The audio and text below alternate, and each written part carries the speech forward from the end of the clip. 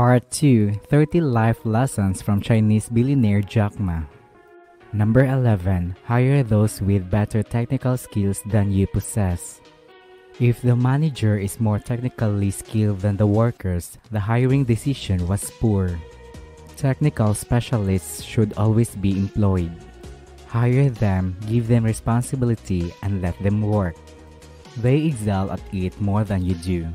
Number 12. Lead with vision, tenacity, and grit. Vision, tenacity, and grit are qualities that are essential to effective leadership in any business or activity. A leader needs to have a clear vision, be able to spot opportunities where others cannot, and foresee problems before they arise. A leader needs to be persistent and have the fortitude to hang in there when a less motivated person might have long ago given up. A leader needs to have grit or the willingness to put up the effort necessary to complete the task at hand. Number 13. Persevere. There will be tough times even at launch. Difficulties might arise anywhere.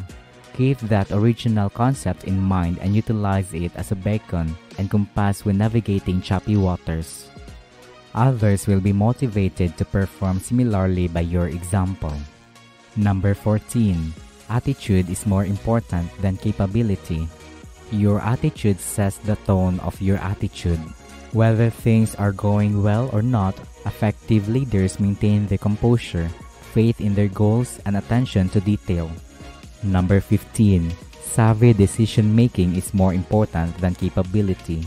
The smartest or most qualified leaders aren't usually the ones that lead the most successfully.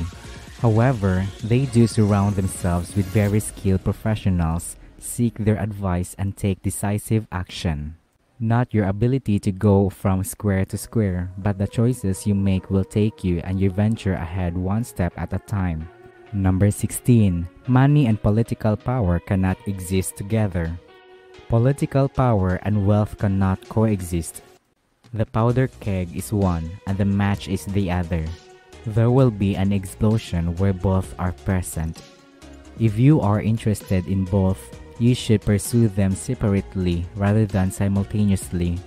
Number 17. Resilience is only understood after you have gone through hardship. Intellectual comprehension of resilience is useless. The ability to bounce back is meaningless. Only after experiencing difficulties and being put to the test can someone be said to be resilient. Number 18. Your job is to be more diligent, hardworking, and ambitious than others. Every time, there is a straightforward recipe for success. Be careful, work hard, and keep your goals in mind at all times. These ideas apply regardless of the shape your effort takes. Number 19 compete with grace. Treating your rivals badly will make you appear to be their enemy and soon you'll be encircled. Instead, join professional competitions with poise, respecting your opponent and keeping in mind that the tide may change the next time. Number 20. Take all competitors seriously. Unless you create a competition into a giant into your eyes, they are not one. Respect all of your rivals and your own company at the same time. The odds of winning are equal for everyone when the tournament starts. The person who defeats you can be the one you ignore. That's all for today's video. Let me know your thoughts in the comments section. Like, share, and subscribe.